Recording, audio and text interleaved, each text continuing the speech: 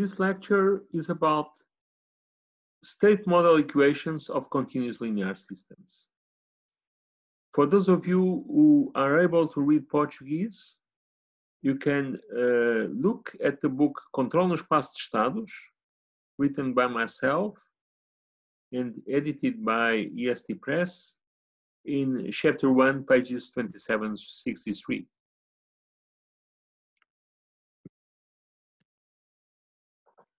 Let's start by considering a very simple model, a very simple example. And the example consists of a very simplified uh, magnetic uh, suspension in which uh, we have a signal U, electrical signal U that is amplified and creates a current around uh, electromagnet that attracts small metallic sphere. And uh, we want to model the relation between U and the position of the sphere in some uh, coordinate system Y. So by Newton's law, the mass times the acceleration, that is to say the second derivative of y with respect to time, is equal to the sum of forces applied. And let's make uh, the assumption that uh, we consider a part of the force that is, or part of the signal that compensates for the force of gravity. So we only consider an increment, incremental variation with respect to this value. And also we assume that m is one. So somehow we normalize the mass. And uh, we end up with this model. So it's a so-called second integrator. So y is a double integrator of u. And um, the second derivative of y is equal to u. Now,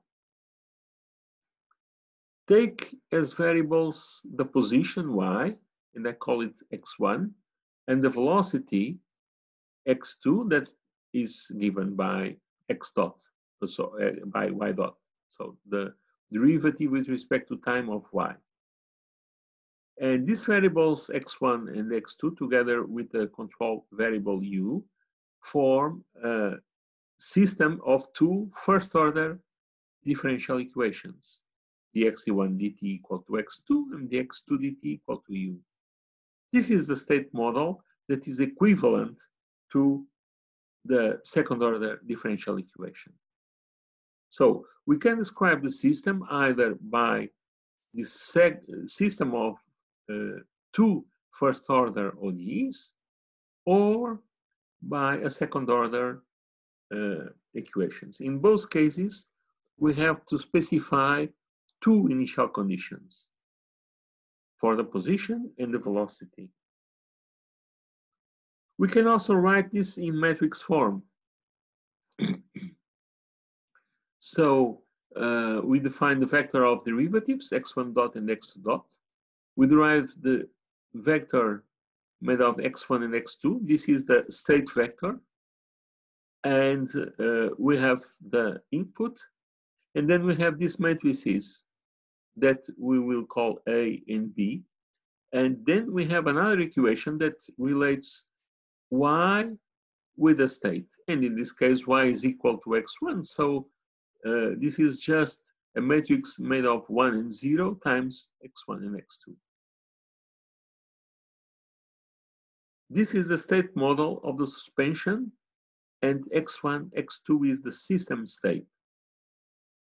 What is the state? Is a set of variables such as you have to know them to uh, be able, based on the differential equations that describe the system, and on the knowledge of the inputs that act on the system, to know its evolution in the future.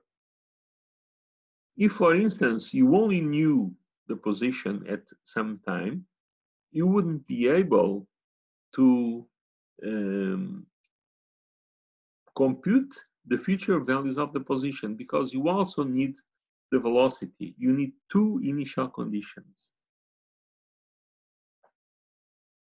Now, uh, let's write this in a standard form. So uh, consider the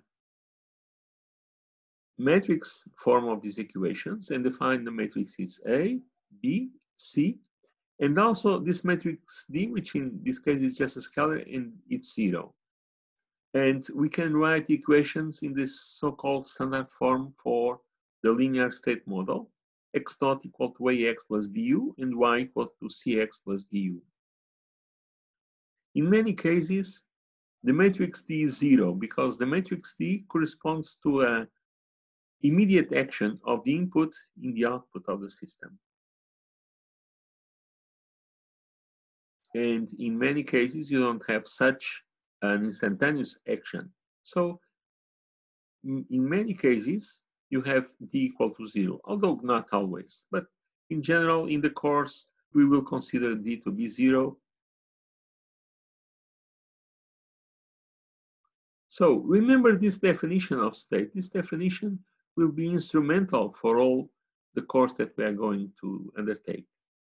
A vector of variables such that if known at a certain time, and if the future values of the input variables are also known, uh, such that it is possible to compute all their future values by integrating the state equations.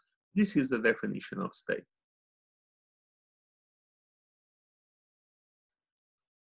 Now, we can think that the state variables define a state, uh, a space, a linear space in which we have x's associated to each of the state variables.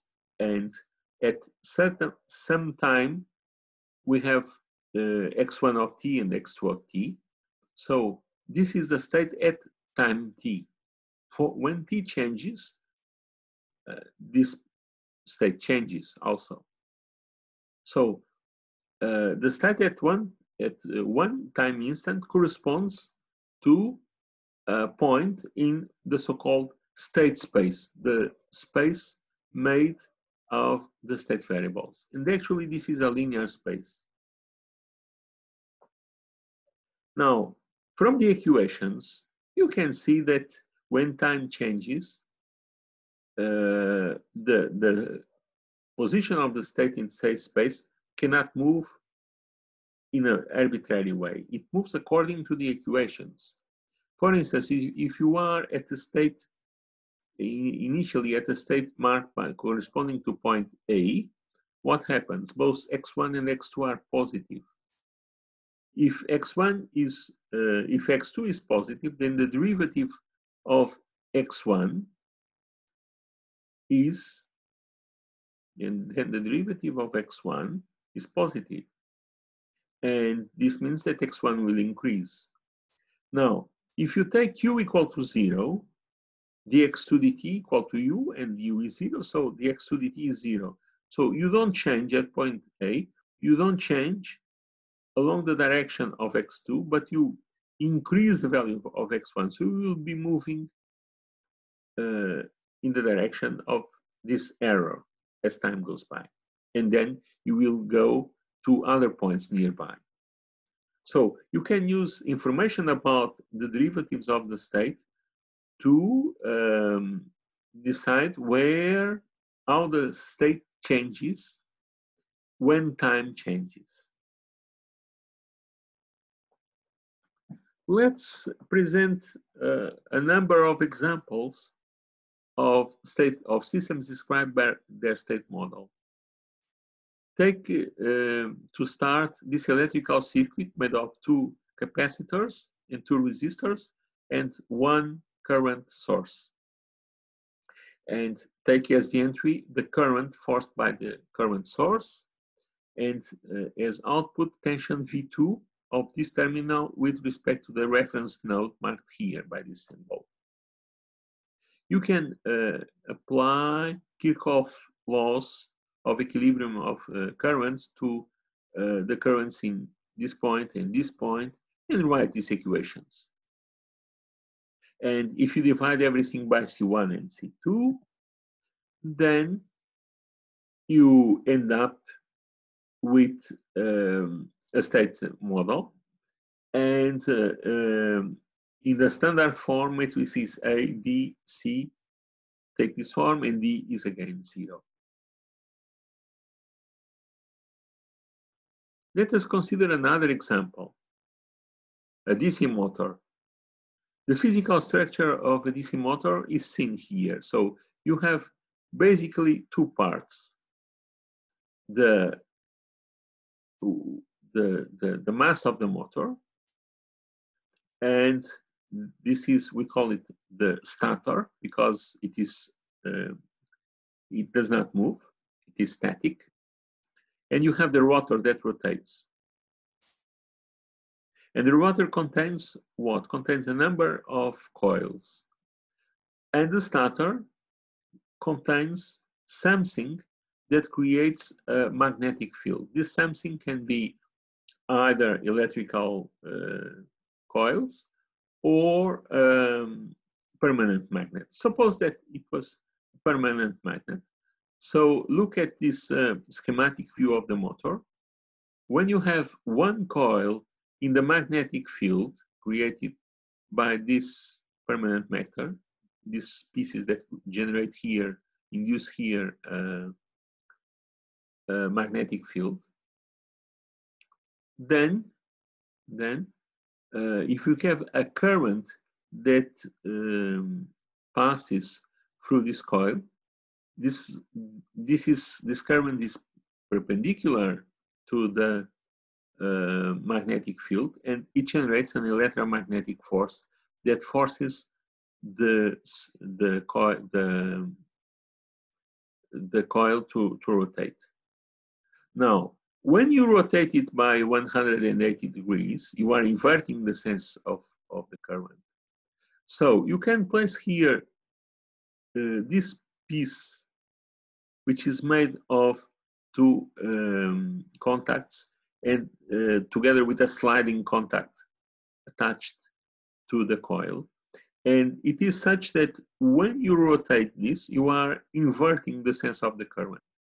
So uh, that when you um, the coil uh, rotates by 180 degrees, the force is always in the same sense, and the motor is made to rotate.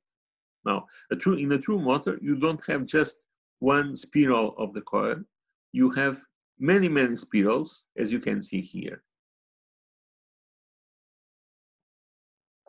You can model the DC motor in this way. So uh, we know that the stator generates a magnetic field. So we put here something that uh, remembers us of that fact. In this case, it, it is a, a coil connected to um, power, uh, voltage source. And the rotor is a coil and it has some uh, resistant, resistive part, some inductive part L, and uh, when you apply uh, when you apply attention, you, you will have a current that corresponds to the reaction of this circuit. Now, when the coil is rotating, the motor acts also as a generator. So there is a counter electromotive electromotive uh, force E, which is proportional to, to, the rotation. So uh, this tension here is proportional to the velocity of the rotation of the rotor. And if the motor is, uh, the, the rotor is solidary with some load, as you can see here, with some moment of inertia J and some friction, then you can write an electrical, uh, an electrical equation for the electrical circuit, and a mechanical equation for the rotation of the rotor. And these are coupled by the fact that uh, the the couple the, the binary of uh, that forces the rotation is proportional to the current. And the counter electromotive uh, force is proportional to the rotation, uh, uh, to the velocity of the rotation, to the angular velocity of the motor. So if you write the equation for the circuit, you do uh, you do uh, uh, an equilibrium. You write equilibrium equation for the for the tension, and you know that U, the tension U, is equal to the drop of tensions in R, in L, and E. And the drop of tension in L is L, the inductance of the of the of the inductor times the time derivative of the current. And this must be equal to U. So this is the electrical, electrical uh, equation uh, for the rotor. For the shaft rotation, you have that the moment of inertia times the rotation acceleration, so the, the, the angular acceleration is equal to the torque minus a friction term that we assume proportional to the angular velocity omega. Now, we can uh, couple these two equations by assuming that uh, the torque is proportional to the, is proportional to the velocity, to the current, and E is proportional to the uh, to omega. So you end up with this set of equations that you can write in the standard form. So this is matrix A, this is matrix B, and if you measure the angular velocity, then y is just 1, 0 times x. You can also think how to modify this model if you consider the angular, the angle of rotation, not the velocity, but the angle. So you have to add, add an extra state for these So in general, in general, the state model for a linear system can be written as x dot equal to ax plus bu, with some initial conditions x of zero equal to some specified x0. And this is the so-called dynamic or state equation. And then you have the output equation that expresses the output that you measure as a function of the state and of the input. And as I said, usually D is zero. Now, usually we uh, denote by small n the number of elements of X, by small m the number of elements, the number of inputs. Usually we take, we will be taking one uh, input and uh, then P, the number of outputs. Usually, again, we are going to take one output. But one of the powers of this description is that it is it can readily be used to describe multivariable systems.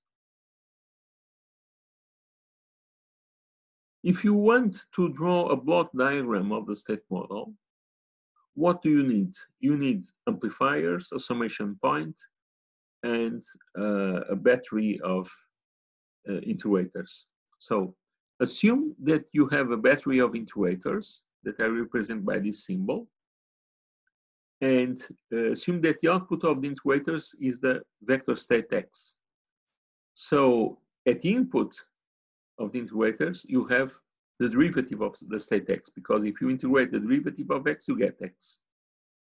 Now, you to force that input of the integrator is the derivative of x, you have to build this signal here in such a way that it is, look at the equation, ax plus bu. So you pick up x, you multiply by a matrix gain A, and you sum from U multiplied by a matrix B. And to obtain the output equation, you uh, just multiply x by c. So in this way, you can uh, represent the block diagram of the state model and you can easily simu simulate it, for instance, using the Simulink Let us give a more detailed example. Suppose that we have this state equation. And uh, you you uh, expand this ma this matrix products to say that x1 dot is just x2 actually x1 dot is the first you multiply the first row of this matrix A by x, so it's uh, 0 x1 plus 1 x2, so it's x2 plus 0 u, so it's just x2. And you do the same for uh, x2 dot for the second derivative. Now, you have two equations, so you need two integrators, and you place the two integrators here, as you can see in step A of plotting the block diagram. So you put the two integrators, this integrator has output x1 and input x1 dot, and this integrator has output x2 and input x2 dot. Now, uh, look at the first equation. x1 dot is x2, so you are going to connect x1 dot to x2 and you connect these two points. Now, uh, write the second equation. So you have to pick x1 multiplied by minus 2. So you pick x1, you multiply it by minus 2, and you add it to what? To minus 2x2. So you pick up x2 multiplied by minus 2 and add it there. And plus 3u. So you pick up u, you multiply by 3 and you add it there. So you have this uh, summation point. Now, if you want to write the output, the output is 4x1 plus 5x2. So you pick up x1, multiply by 4, pick up x2, multiply by 5, and sum, and you have y. So this block diagram allows you to represent these equations and can be used to make a simulation in Simulink with just integrators and uh, gains and summation points. And what about the initial conditions? You force the initial conditions by forcing the initial conditions of, of the integrators in both variables. How can we select the state variables?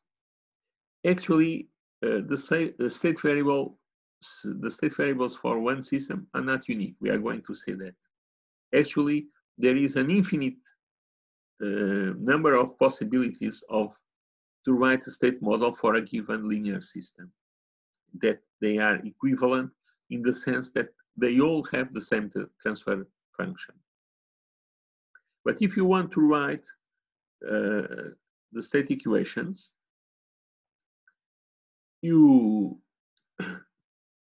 can sometimes, if it is a physical system, you can use physical variables such as position, velocity, or temperature, or entropy, or uh, angular velocity, and so on. Or you can define the state variables mathematically. We are going to uh, see that later.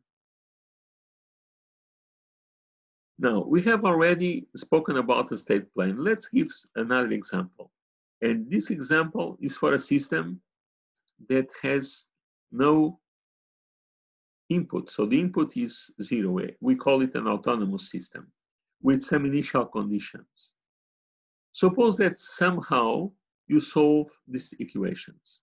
Actually, these equations can be readily solved analytically. At this moment, we don't know how to solve them, but they can.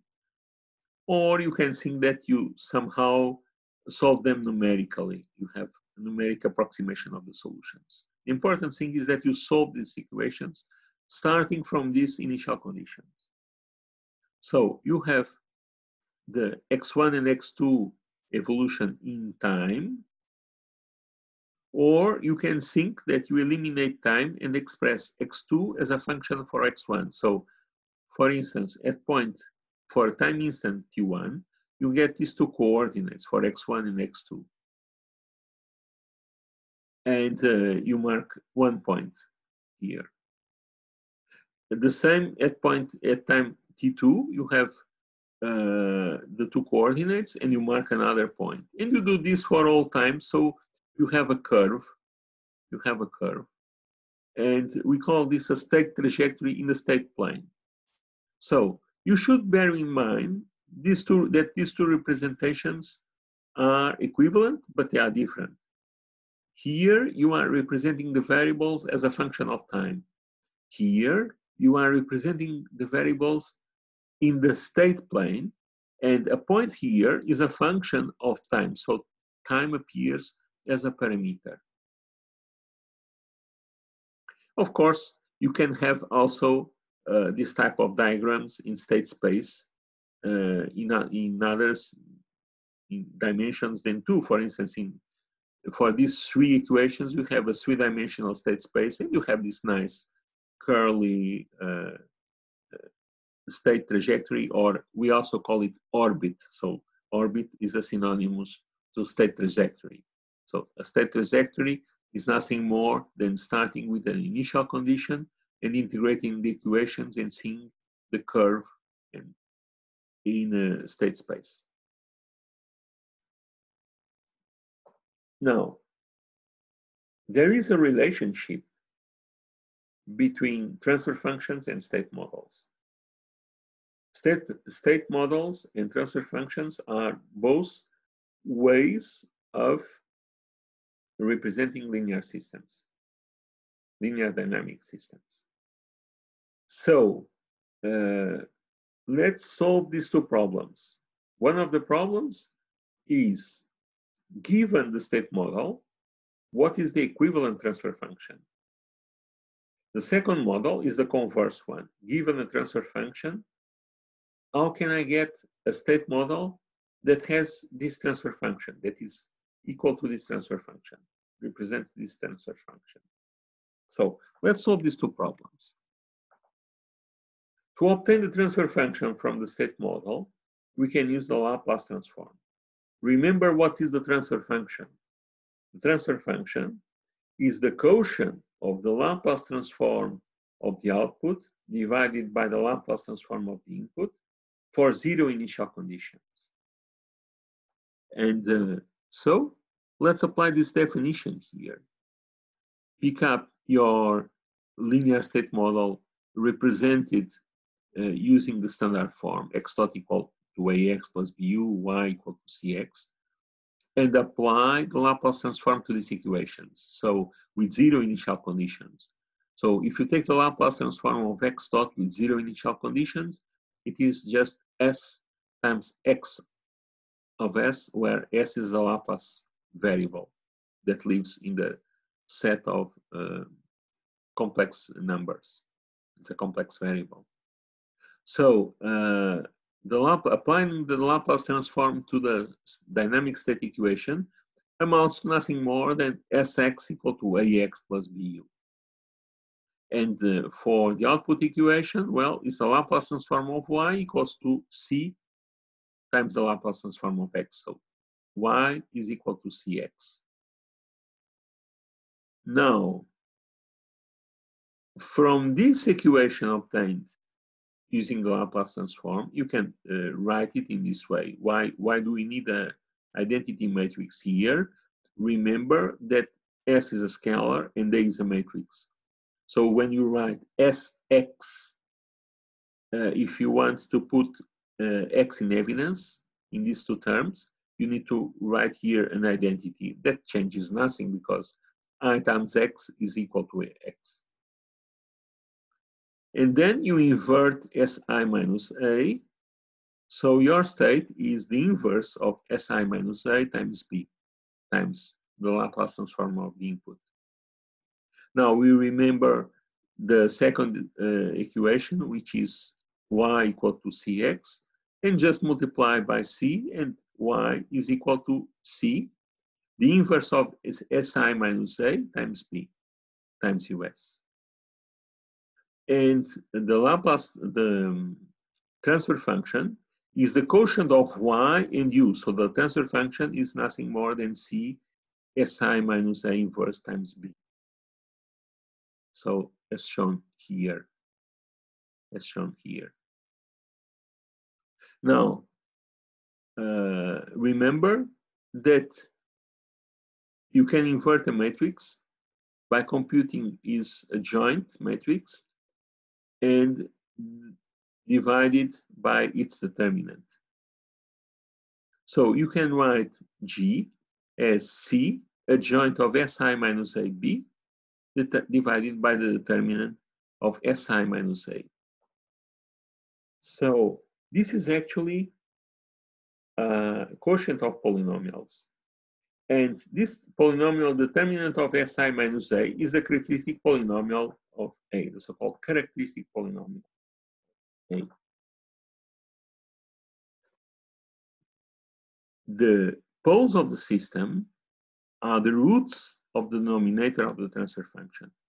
So the poles of the system are the roots of the characteristic polynomial. And the zeros, the zeros, are the roots. This is a polynomial in S because uh, the adjoint of Si minus A is a matrix. If you multiply it by a column vector, this is, uh, again, a column vector. And you multiply C, which is a row vector, by a column vector. So you get a scalar.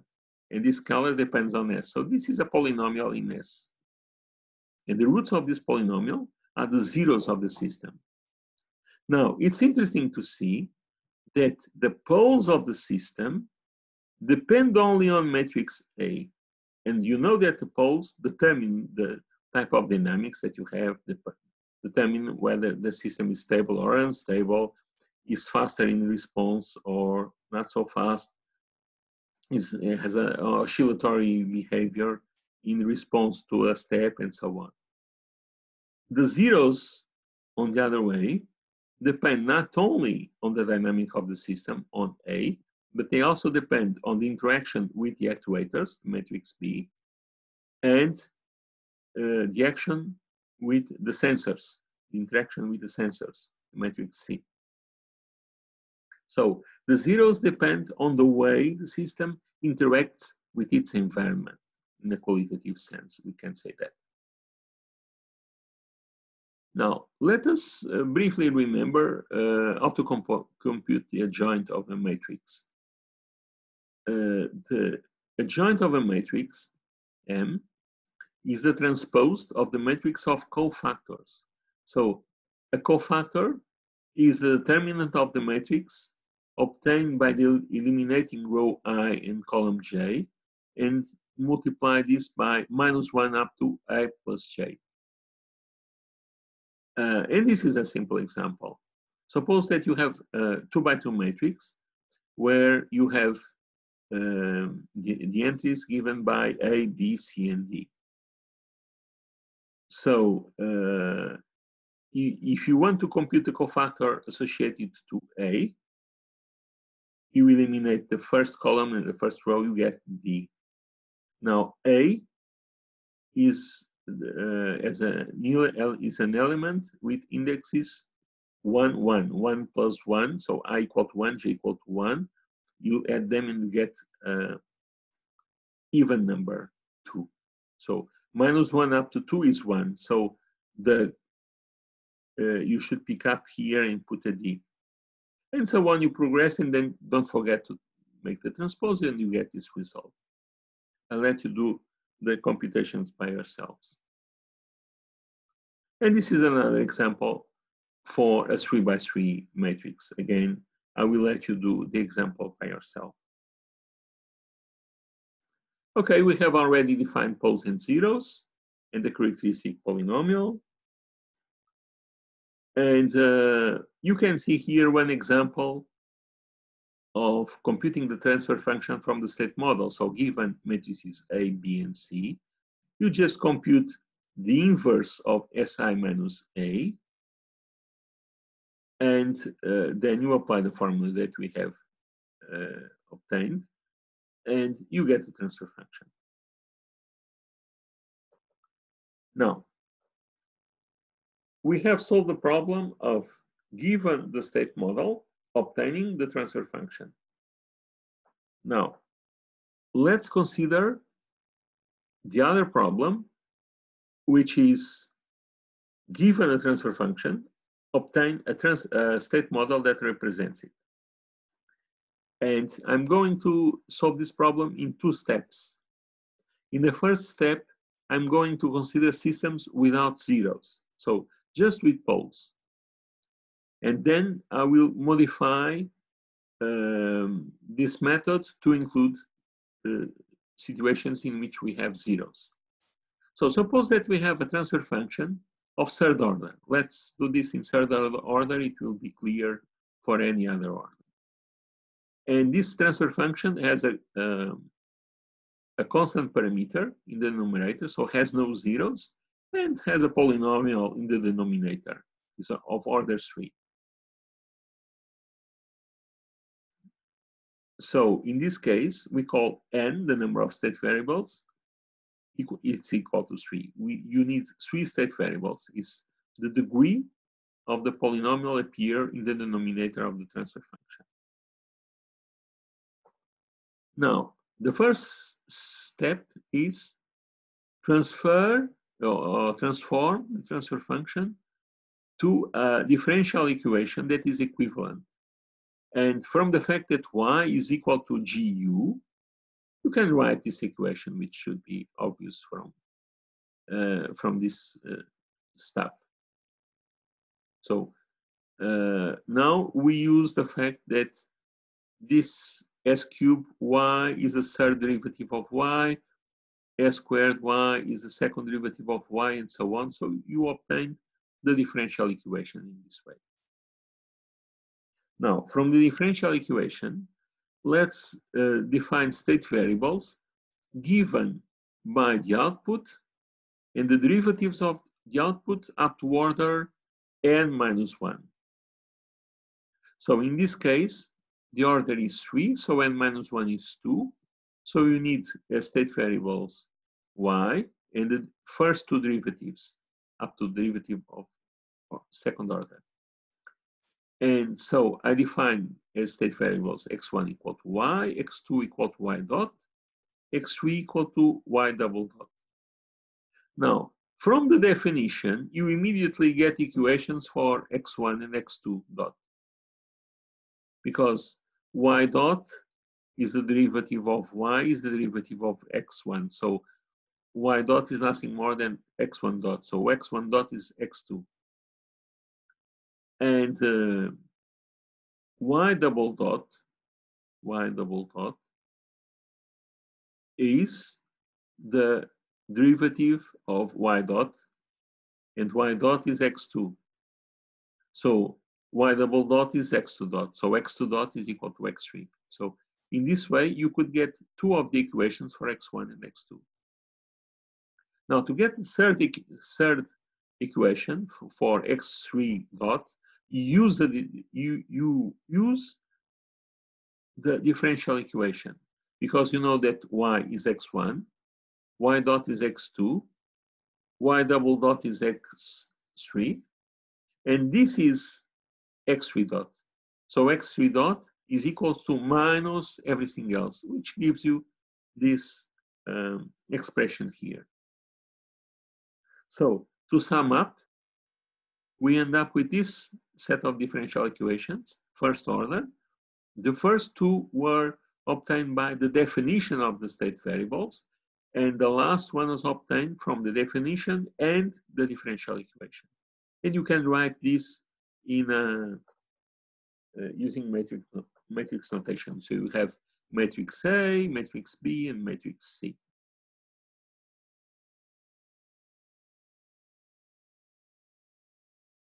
One uh, word of mention is uh, due to the fact that the matrix A has this structure, you see. You have here an identity of order n minus, minus 1. Then you have here a column of zeros, and here you have minus the coefficients of the characteristic polynomial. So you can write it almost by inspection.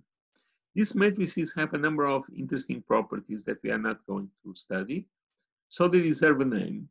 And the name is companion form. In Portuguese, forma companheira. Now, we have learned how to solve, how to obtain the state model for systems without zeros. Now consider, imagine that the system had a zero, B0S plus B1. So the trick that we are going to do is to break the system, the transfer function in two parts. One only with a zero, one only with the poles, and one only with the zeros. The part here with the zeros is non-causal, but this is just a mathematical trick, so we don't bother about that. And we define x1 to be the output of the transfer function just with poles of this transfer function. Now, before we learned how to write the state equations for the state equation for for this part here, assuming that y was equal to x1. Now, uh, what happens? We have this extra part, and y, y is equal to b0s x1 plus b1 x1. But b1 x1 all right is b1 x1 but b0 s x1 is b0 x2 so y is nothing more than uh, b1 x1 plus b0 x2 so you have this you have this matrix for the output equation. And the, the dynamic equations are the same as before are the same as before.